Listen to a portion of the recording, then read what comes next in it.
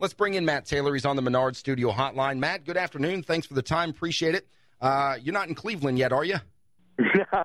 no, not yet. We will uh, we will embark on our journey starting Saturday afternoon. Okay, so you guys don't go up until Saturday. All right. Well, let's uh, let's start with kind of the the one thing that seems to be the one nagging issue with the Colts, at least from a fan's perspective, and that is Trent Richardson. Uh, there, the announcement came out earlier this week that they're going to stick with him as the lead back over Dan Boom Herron. Why does it seem to you that the coaching staff is so stuck on him? Is it a pride thing? Like they don't want to they don't want to maybe admit that they've made a, an error by bringing him on? No, I think they think that he's a good football player, and I think he's a good football player too. I think the stigma that Trent gets around town here in Central Indiana is that he's not rushing for 100 yards every game, and that's what a first round draft pick should do, or at least a, a, a top three first round draft pick, and at least somebody that you traded for and gave up a first round draft pick uh, is supposed to do. And he's not doing that. Um, and I get it, you know, and, and obviously Trent feels that he's not putting up the numbers that he wants to. He's certainly not coming anywhere close to that. But he's still a good football player. And he's just not able to, at this point, have the breakaway. Uh, he's not having the breakaway speedy types of runs, you know, where, where Boom Herron last Sunday against the Redskins breaks one from 49 yards away. Trent is more getting two and three yards at a time, but that's that's a serviceable amount of of production, especially when you need two backs inside this Colts offense and you need to get tough yards when an opposing defense knows you're going to run the football. You still have to be able to get that third and two, third and one. Oh, no, oh, by the way, Trent Richardson is perfect in those types of situations. So I'm not trying to stick up for him because, again, I think if you would ask him, and, and certainly people have, um, he would tell you that he would like his production to be better. But Trent is still a good football player because he's able to get tough yards, and he's a very good pass blocker. He's an extension of this offensive line, which hasn't been perfect by any means all season long. So you need a back in the backfield that you can trust if you're Andrew Luck to keep you clean and, and, and make this pass offense, which is prolific by every measure in the book. Um, he certainly helps in that category. And the Colts' running game is not terrible. People want to say it's it's it's a it's a weakness of this team and I think it gets classified that way because the passing game is so good. But if you look at the numbers from an NFL standpoint, they're right in the middle of the pack as far as rushing offense goes. It's just because I think their their passing game is that much better, and they have so many weapons to throw the ball to that the running game kind of gets looked down upon. Do you think this will be the last year for Trent Richardson? Do you think the Colts will move on from him after this year, or do you think they'll, they'll keep him around for, for the last year of his contract? Oh, I think they still believe in him, um, and I, I do. I would expect him to, to be back next year. I think the bigger question is what they're going to do with Ahmad Bradshaw because um, this this was a contract year for Ahmad, and unfortunately for him, he has spent the last five years at the end of the season on IR for a, a various amount of injuries. So I think that's the bigger question from a running back standpoint moving forward to 2015. Talking to Matt Taylor, he's the uh, sideline reporter manager of radio production for the Colts. It's ESPN Evansville 1053. Uh, Matt, what is a fair amount of time? You talk about Trent Richardson, and I think uh, we've discussed it here on our show several times that he's the kind of guy, or maybe just society in general, is a very much uh, we we want what we want and we want it now kind of mentality because of things like the internet and iPads and smartphones and everything else give us everything we want at a at a moment's notice. What's a fair amount of time for a guy like? Trent or any other player that has high expectations to assimilate to an offense or whatever the case happens to be and and become what they want him to become? Well, again, I, I think the fans and and the, you know social media folks and certainly the media, they have higher expectations of Trent because of where he was drafted and what was given up by the Colts in order to, obtain him. I think if you ask the Colts, they're very they're very much satisfied with his production and what he is able to add outside of just the number of carries and the number of yards. If you ask Trent and if you ask Coach Pagano, like I said, he's a very good pass blocker. Um, he's a very good. Uh, he's very good at, at getting tough yards on third and short and down around the goal line. Um, I, I just think that people want him to rush for 100 yards and have 88 yard touchdown runs and and be the Trent Richardson we saw um, at Alabama and in high school, you know, coming out. But the thing is, I mean, I'm not one of those folks that that watches an incredible amount of game tape. I'm there on Sunday. I hear what other people say.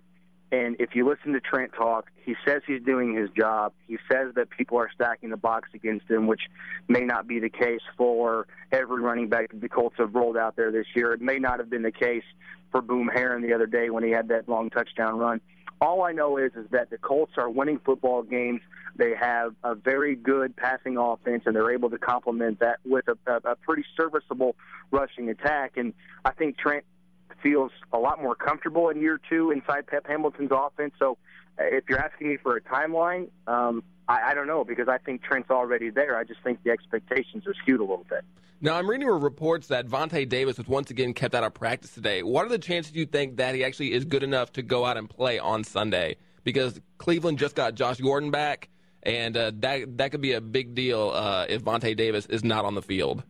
Yeah, it's it's going to be up in the air. Vontae did not practice uh, again today, as you said, and um, by NFL measure, he has to have at least one day of practice where he is clean, has no problems, and then the day after has to get tested again in order for him to play. Now, obviously, we're on a little bit of a time crunch because the last day of practice is is coming up tomorrow, and then he'd have to be cleared again and tested again on Saturday. So um, that's probably the biggest variable right now the end of the game from an injury standpoint. You need Vontae for everything you just said um, because Brian Hoyer is, is is really starting to force feed Josh Gordon here as of late since he's returned from his suspension. 29 of his last 70 attempts about Hoyer have gone to Josh Gordon, so he is um, here late in the season a definite uh, focal point of that offense.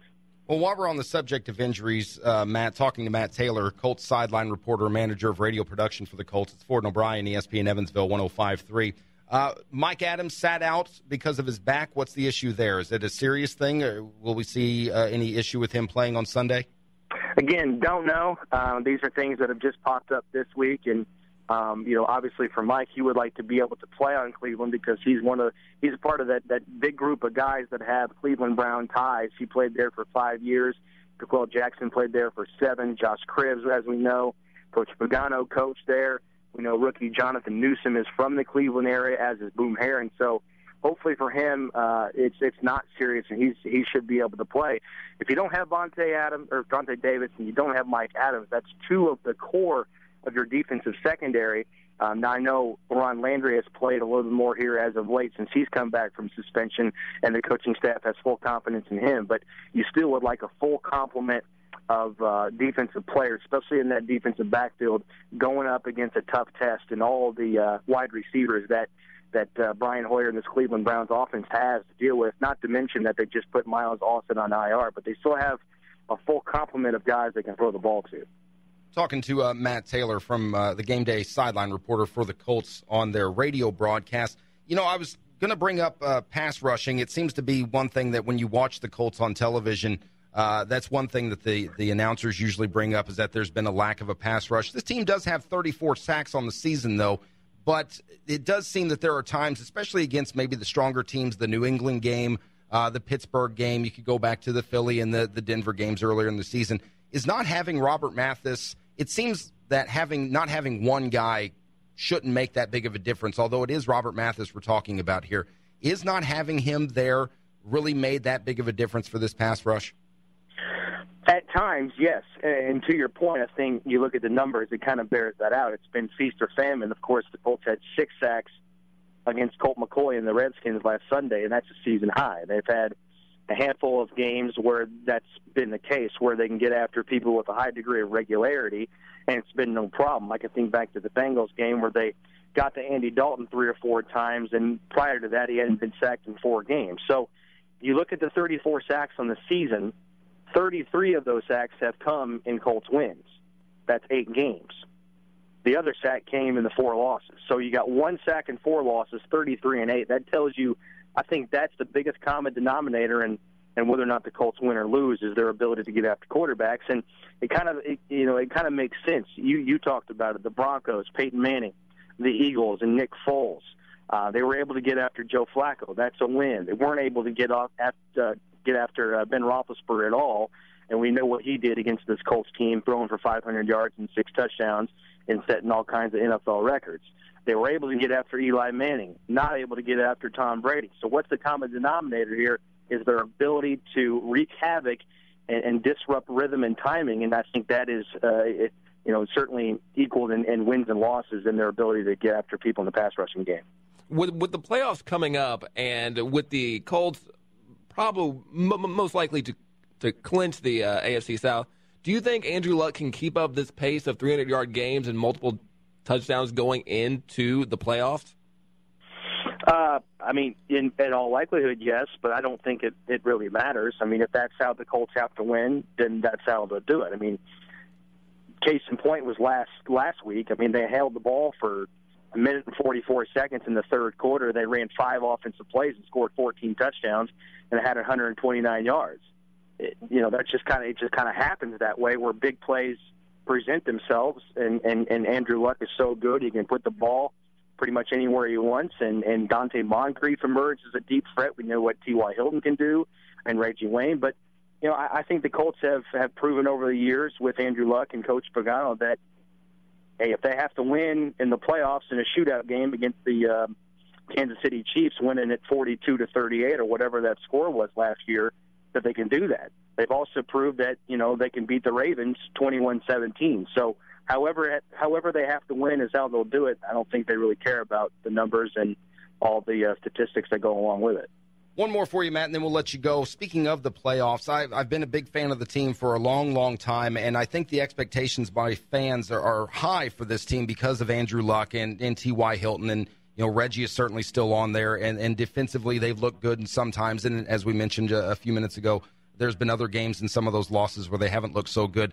But then I look at those games like the New England game and the Pittsburgh game and the Denver game, and, and I try to look at it realistically uh, as far as how deep of a run they can make in the playoffs. And it's one thing to be a fan and go, well, I think they can make the Super Bowl. But I mean, realistically, they were going to have to run through New England or Denver again to make it that far. Is that something that you feel realistically they could they could make a, a solid run at the Super Bowl this year, or are they still a piece or two away from making a legitimate deep threat into the playoffs?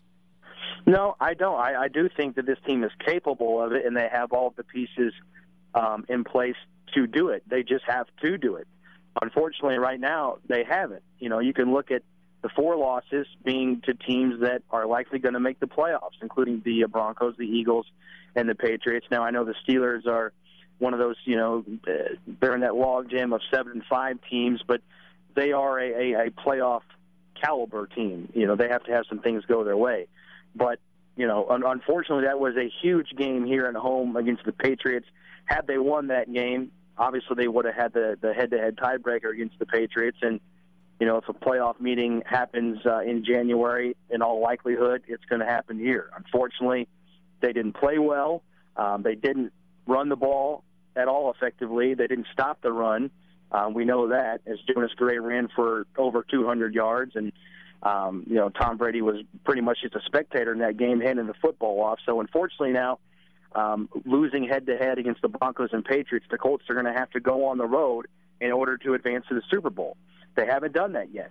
They haven't. I mean, last year on the road uh, to in New England didn't go so well. Uh, two years ago on the road, Andrew Luck's first playoff appearance in Baltimore, they were in the game, but they didn't win. So they have the pieces in place to take them where they want to go. They just have to start beating these playoff teams. Um, I mean, I mean, obviously in the playoffs, but they have to start winning these playoff games on the road. And I'll tell you from firsthand experience, it's it's a, it's a completely different environment playing in Foxborough in January in the snow in the postseason. I mean, it's a very difficult thing to do. But um, last year was was filled with injuries. Didn't have Reggie Wayne. Um, didn't have Dwayne Allen. They have all these pieces back. Uh, Boom Herron is uh, provided a, a, a very big boost in the absence of Ahmad Bradshaw. So I think everything is in order. Now the Colts just have to go out and do it. That's Matt Taylor, manager of radio production, game day sideline reporter for the Colts. You can hear him uh, this weekend as we'll have the Colts Browns game for you with our coverage starting at 11 o'clock Central Time here on ESPN Evansville 1053. Matt, appreciate the time. Thanks a lot. Okay, thank you. Enjoy your trip to Cleveland. Thanks.